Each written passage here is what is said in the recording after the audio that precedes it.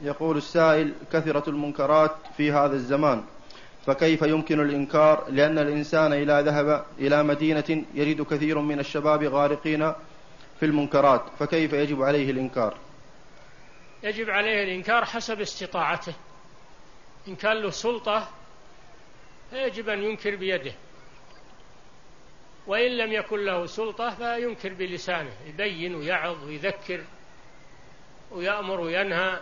ويبلغ ولاة الأمور هذا الإنكار باللسان. ما يسكت وهو يقدر على أنه ينكر بلسانه فإذا لم يستطع الإنكار باللسان ينكر بالقلب ويكره المنكر ويبغض المنكر ويبتعد. يبتعد عن المنكر وأهله. نعم.